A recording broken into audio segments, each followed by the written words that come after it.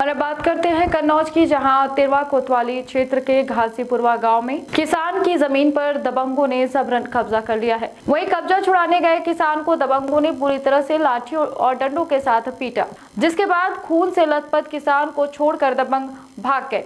पिटाई का video social media में भी वायरल हो रहा है। वहीं मामले में पीड़ित ने तीन लोगों के खिलाफ कोतवाली में तहरीर दी है। आपको बता दें कि कन्नौज के तिरवा कोतवाली क्षेत्र का ये पूरा मामला है, जहाँ दबंगों ने किसान की लाठी डंडों से जमकर पिटाई की है, जिसके बाद किसान ने शिकायत दर्ज करवाई है। Bureau report, Virat twenty four news.